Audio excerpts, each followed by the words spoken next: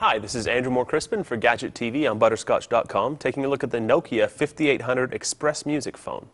Now you can get this phone for $400 without any carrier relief. Currently it's available for about $200 if you're willing to sign a contract. Now we can see here on the front there's a 3.2 inch touchscreen. Now unlike some of other um, kind of lower end uh, phones that, that try and incorporate a touchscreen, this one's actually done quite well. Now we can see here the dialing application.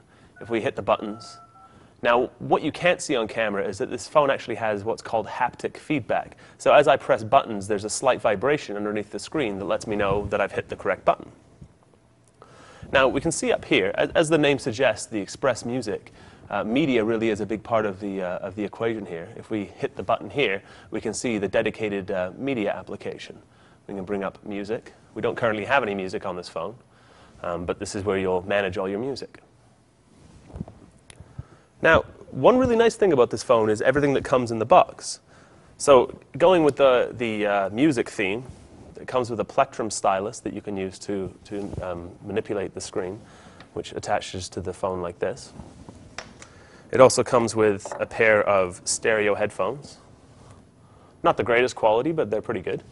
It also has an inline microphone on those headphones. There's also an inline remote control for manipula manipulating your media. So you can accept calls, skip uh, forward and back in your music, play, pause, stop. Also, it comes with this little stand for when the device is in uh, landscape mode, you can actually rest it down like this and, and watch a video. Now, with this included TV out cable, you can also push your media straight to your phone, or straight to your television, I should say. Now, we mentioned the touchscreen. Let's pull up, up an application where we can actually make use of it. So we'll pull up the messaging application. We'll say we want to do a new message. Now, if we go into the body of the message, you see that it flips to landscape. Now we can type. Obviously, I'm typing gibberish. We'll send that and confuse someone. There's also a couple of other text entry methods. You can also use T9, which is where you'll have a keyboard um, with letters associated with each number, like, you, like regular text messaging on a regular candy bar style phone. Uh, and that uses T9, which is a word completion, which actually works quite well. Now, apparently the phone also does handwriting recognition, but we haven't gotten around to checking that out because we found the on-screen keyboard works so well.